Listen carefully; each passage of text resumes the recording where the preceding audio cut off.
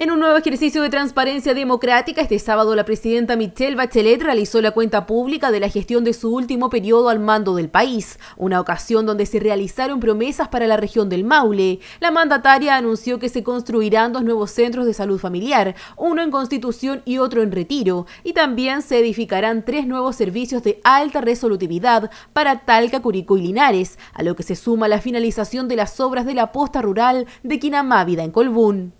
Iniciarán su construcción en los próximos meses un conjunto de 23 hospitales, entre los cuales se encuentran, voy a mencionar algunos nomás, no se, no se asustan si no están los de ustedes, Marga Marga, Curicó, tercera etapa del Hospital Leiguera en Talcahuano y el de Quellón.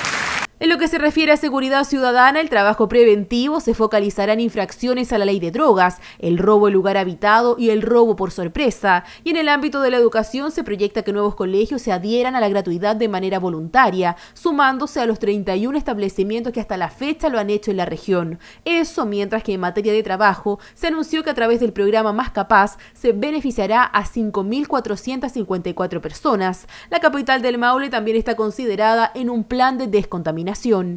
Cerca de 10 millones de personas en el país están expuestas a contaminación atmosférica y lo estamos abordando con la urgencia que merita. Las ciudades como Andacoyo, Coyhaique, Temuco, Talca, Chillán y Osorno enfrentan este invierno por primera vez con planes que abordan el tema de la descontaminación y que de manera progresiva van a incidir.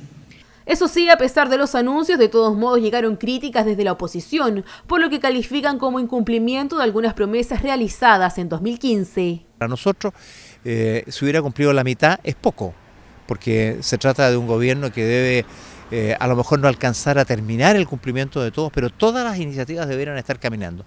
Y eso no es así. Yo creo que tenemos un resultado eh, muy negativo y la demostración es el rechazo ciudadano. Desde la UDI llaman a redireccionar el rumbo en lo que queda de la administración Bachelet. Es la hora de que eh, vaya haciendo cambios en su gestión, ya no le queda mucho tiempo como presidente y por lo tanto si quiere terminar bien y no como está ahora con mucho rechazo ciudadano, es la hora de rectificar el camino y ojalá que lo haga para así poder trabajar juntos por el bien de los chilenos y desde el gobierno regional llaman a no centrarse en las críticas y a apoyar en los procesos.